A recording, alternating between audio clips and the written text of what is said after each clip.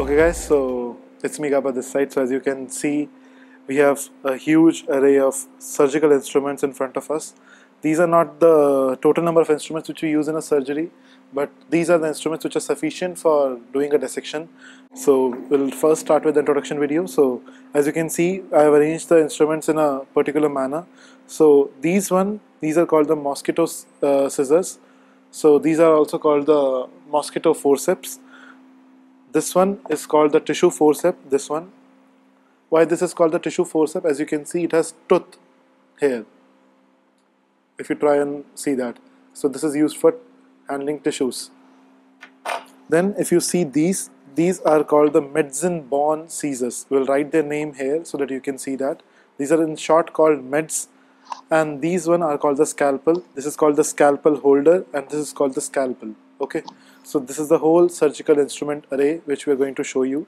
So for the mosquito scissors or the mosquito forceps as you can see these mosquito forceps they have an interlocking system. I will show you from this side. As you can see here these are an interlocking system. So if I close them here I can't open them unless and until I open the system. See? Okay? So this is called the mosquito scissors. The next one which is the tissue one is for handling the coarse things for taking out the things. So this is the tissue forceps so as you can see again it has the tooth inside on the top. So next one these are called the Metzenbaum so in the Metzenbaum you can see that there are two versions of the Metzenbaum this one is the straight version. As you can see there is the beak is straight. And this one is called the curved version because it is curved if you see like this. Okay so these all in all except for if I keep this aside all of these are called the ring instruments because we have the ring to hold it and where we keep our fingers. And for these one why we call it the mosquito forceps because if I hold it like this it looks like a mosquito. It's like the eyes of the mosquito and the uh, I think the the mouth of the mosquito.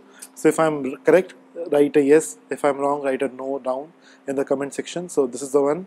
And for the last the scalpel part teach you how to hold a scalpel properly. So as you can see when we hold a scalpel there are two ways to hold a scalpel. First way is to hold the scalpel with like this and make sure that you don't keep the sharp side towards yourself. And then keep the index finger on the blunt side and then you can make an incision like this. So this is the one way of holding the scalpel as you can see. So this gives more stability to your scalpel blade when you are doing an incision. And the other way to hold a scalpel is like you are holding a pen. So hold the scalpel and keep it like this. So these are the two ways to hold a scalpel for making an incision. So for the scalpel it is mostly used for doing a superficial cut. And the Metzenbaum scissors which are the cutting instruments they're mostly used for doing the deeper cuts. And for the Metzenbaum I would like to tell you one more thing that Metzenbaum scissors are used for doing two type of cuts. One is the sharp cut one is the blunt cut. So as you can see if I use this as a normal scissor so this can use be used to do the sharp cuts. But if I use it do the normal cut like this it will be able to do the blunt cuts also. And for now for the holding of the scissor how to hold it you have to put the one thing one hole in your ring finger and the other one in your thumb. So now you can see that it gives it more stability and more movability. Whereas if you put it like this, see, I can't move it that much properly and there is more pressure coming on my hand. So the better way to use it is via the ring finger because then you can give it a stability by using your index finger. So these are the two ways.